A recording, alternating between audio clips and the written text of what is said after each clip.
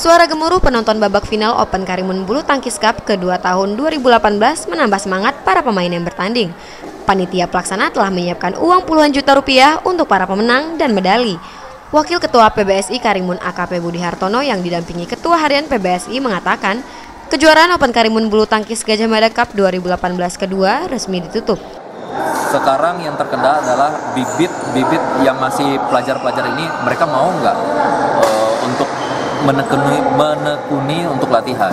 Sementara itu, peraih medali emas dalam kategori Madya Ganda, Alexandra dan Bim Lim mengaku cukup puas dengan hasil pertandingan. Di sebelumnya sudah pernah juara belum untuk kejuaraan sebelumnya? Sebelumnya udah tahun lalu di kejuaraan ini juga. Ini juga ya. juara satu juga. Ya. Oh berarti udah juara tetap gitu ya? ya. pernah dulu di setelah panjang. Di setelah panjang pernah. Sekolah aja. Dengan diadakannya turnamen pertandingan badminton Gajah Mada Cup, Ke depannya dapat melahirkan bibit-bibit unggul berprestasi guna mewakili Kabupaten Karimun ke kancah tingkat nasional. Dari Tanjung Balai Karimun, Aziz Maulana melaporkan.